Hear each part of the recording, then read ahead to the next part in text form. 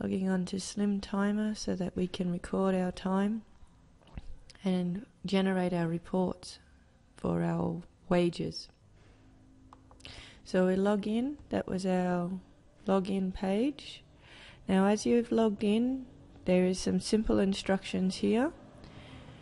If you click on Open Timer, this small area pop-up screen arrives. Here is area where you can add tasks. So for different clients, you just click on make new task. Okay.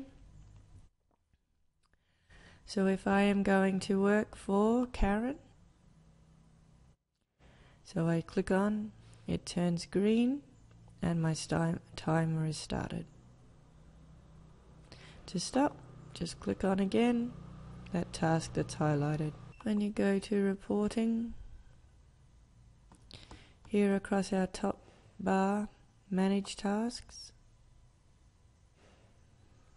it shows the hours. This is our reporting. Edit entries if I want to add additional time, change different things. This is today's entries, can go back to previous days.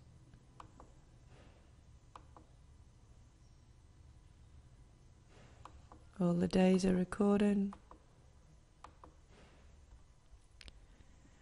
If I want to run a report, I just click on Run Report, select the time. If I want to do all totals,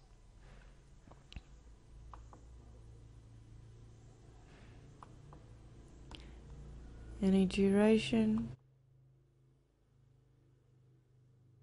runs the report for me. I can generate it for many people. Very simple very easy to operate.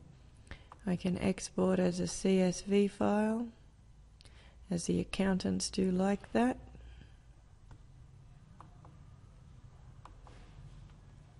Or I can turn it into a PDF and print it for myself.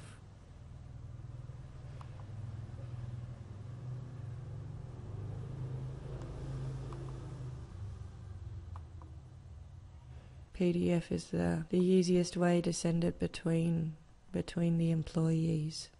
Can just email it then.